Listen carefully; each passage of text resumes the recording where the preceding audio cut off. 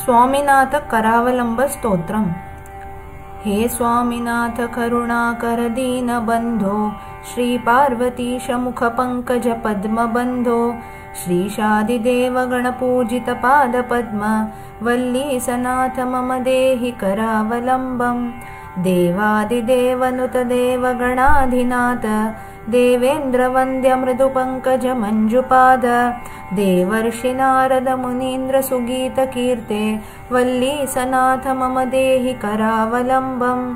नित्यान्नदाननिरताखिलरोगहारिन् तस्मात् प्रदानपरिपूरितभक्तकाम श्रुत्यागमप्रणववाच्य निजस्वरूप वल्लीसनाथ मम देहि करावलम्बम्।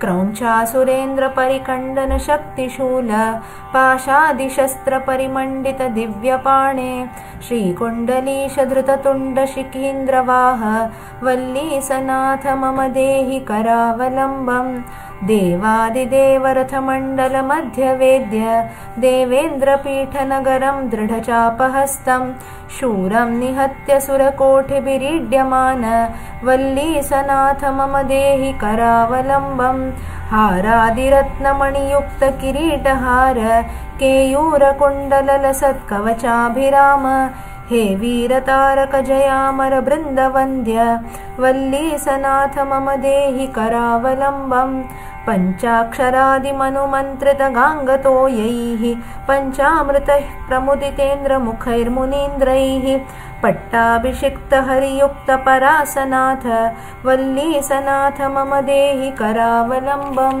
श्रीकार्तिकेयकरुणामृतपूर्णदृष्ट्या कामादिरोगकलुषीकृतदुष्टचित्तं भक्त्या तु मामवकळाधरकान्तिकान्त्या वल्लीसनाथ मम देहि करावलम्बम् सुब्रह्मण्याष्टकं पुण्यं ये पठन्ति द्विजोत्तमाः। ते सर्वे मुक्तिमायान्ति। सुब्रह्मण्यप्रसादतः।